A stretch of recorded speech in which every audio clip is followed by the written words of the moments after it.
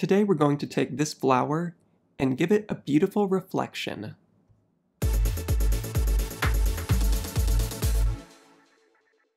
Hello and welcome to an Affinity Revolution tutorial. If you'd like to use the same image as me, I've included a download link in the video description.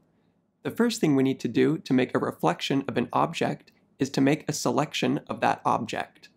This flower has already been cut out from its background, so all we need to do is hold down Command or Control and then click on the layer with the object on it. As you can see, we now have a selection going around the flower. With our selection made, all we need to do is press Command or Control J, J as in jump, and now we have a duplicate copy of our flower. You can press Command D to deselect the flower, and then we're going to take the Move tool to reposition this flower.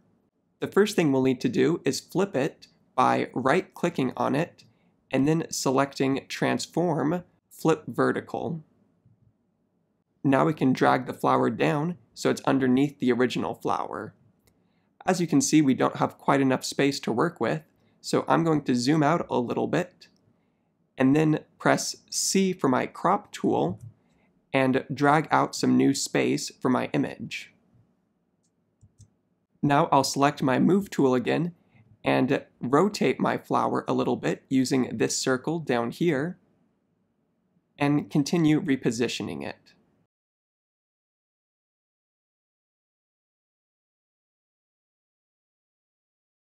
Now that we've repositioned the flower, we're going to make it look like a reflection by having it slowly disappear. To do this, we first need to apply a mask to this layer. We can apply a mask by pressing on the mask icon down here. It kind of looks like a Japanese flag. And now we can click on the mask layer and apply a gradient to it to make it look like it's slowly disappearing. To apply a gradient, you can press G for your gradient tool and then click and drag to draw out a gradient.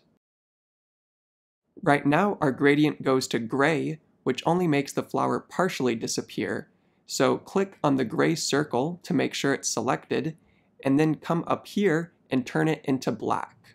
Now our gradient goes from white to black, making our flower slowly disappear. Right now, our reflection is still a little too strong, so I'm going to click on the flower to have the entire layer selected, and then lower its opacity to 50%. As a finishing touch, I'll give this image a background by selecting the rectangle tool and then clicking and dragging to draw out a rectangle on top.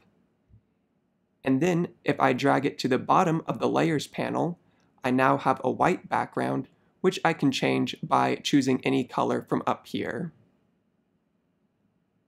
And there you have it. We now have a beautiful reflection. Thanks for watching our reflection tutorial. If you'd like to learn more about Affinity Photo, be sure to subscribe to our channel. We come out with a new video every Saturday. So hit that subscribe button, and I'll see you in the next Affinity Revolution tutorial.